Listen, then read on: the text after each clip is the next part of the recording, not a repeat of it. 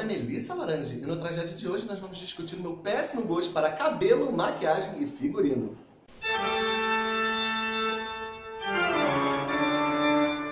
A ideia desse vídeo surgiu há algum tempo, quando eu estava circulando pela internet, que afinal de contas sou desculpada, nada pra ninguém, né? E aí eu vi a seguinte notícia. Organização Mundial de Saúde aconselha que substituam a carne bovina por insetos na ingestão de proteínas. E aí eu fiquei. Que, que? Como substituir? Onde compra? Como cria? Como vai ser a vigilância sanitária? Como é que a gente vai introduzir para culturas que socialmente não estão acostumadas a comer inseto? Como é que a gente vai fazer isso?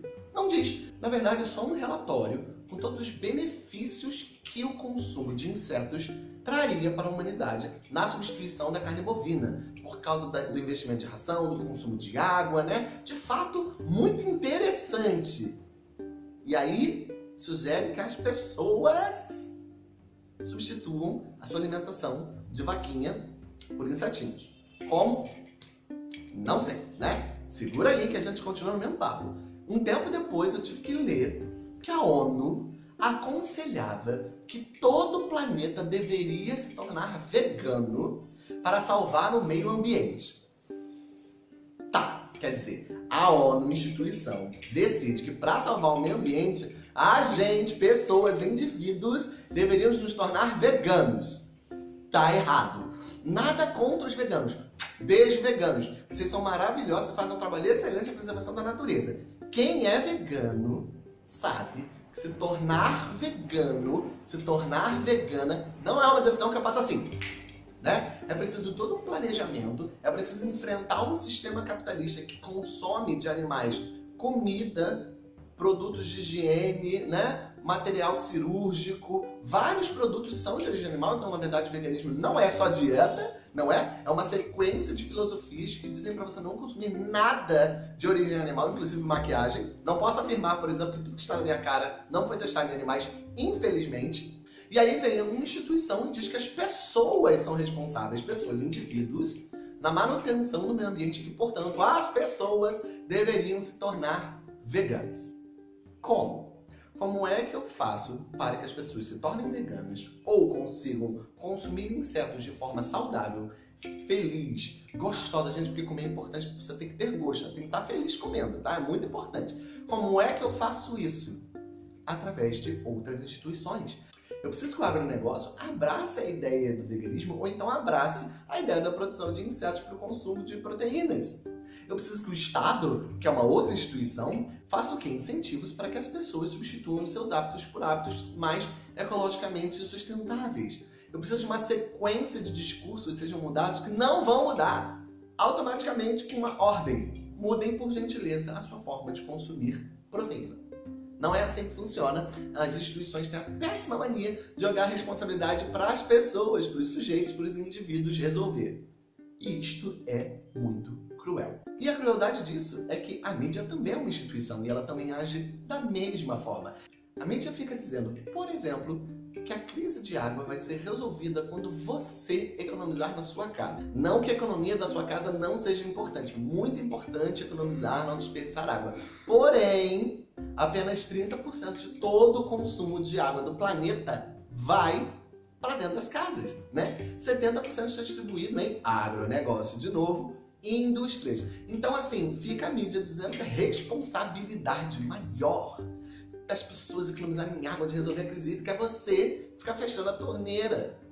As instituições sempre jogam as responsabilidades coletivas e institucionais em cima dos indivíduos. Porque qualquer esfera de Estado, tribunal, empresa, religião, Todas essas instituições contam com um aparato de ferramentas, discursos, poderes, leis, silêncios que forçam a gente a acreditar que todo o problema do mundo vai ser solucionado individualmente, se cada um fizer a sua parte.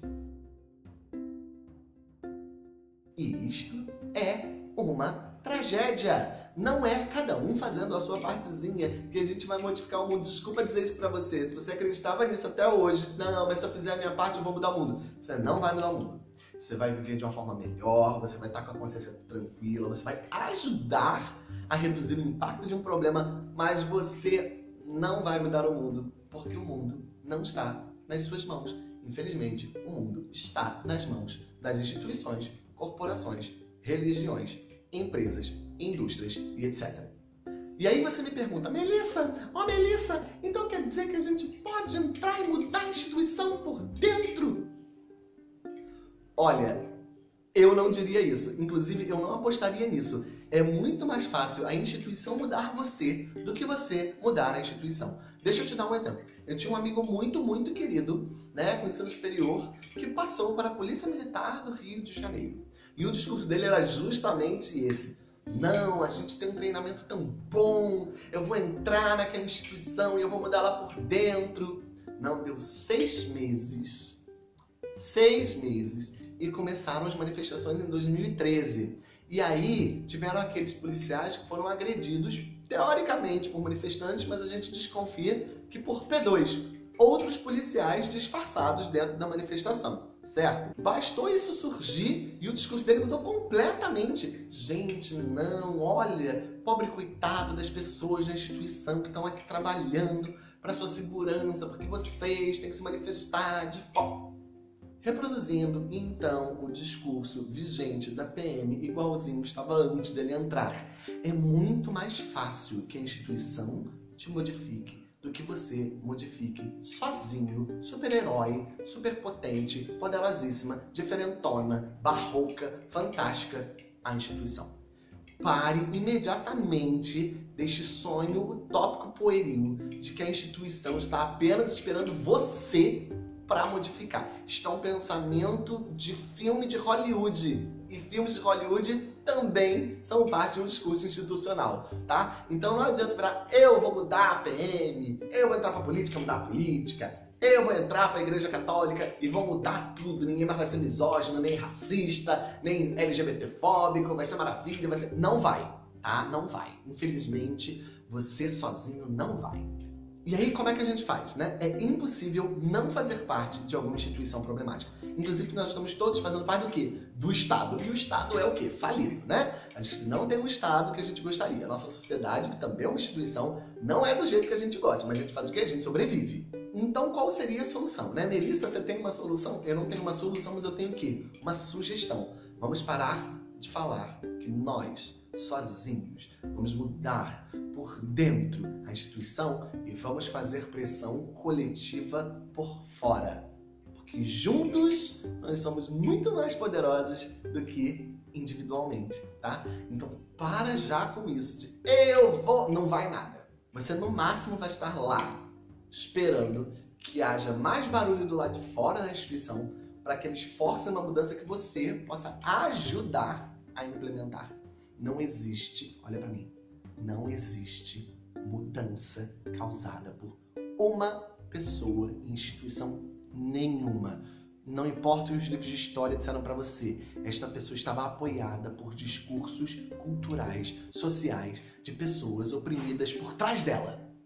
Ok, entendeu? Então o que eu quero com esse vídeo? Que a gente pare de achar que as instituições são pessoas e, portanto, a gente possa culpabilizar uma, duas ou três pessoas pelos discursos que elas produzem, que são muitas pessoas com muitos discursos, que a gente comece a observar o que é bom e o que não é em cada instituição, quando possível, porque as coisas não são tão preto no branco. E principalmente que a gente pare de acreditar que vai mudar o mundo sozinho, se deem as mãos, façamos força coletiva, tá? Porque, de novo, juntas somos mais fortes.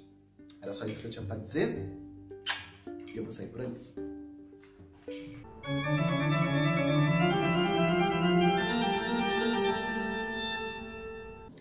Melissa, Delissa, Roliça, Laranja, Lagranja, Lima, Duarte Brown. Pum, pum, pum, pum.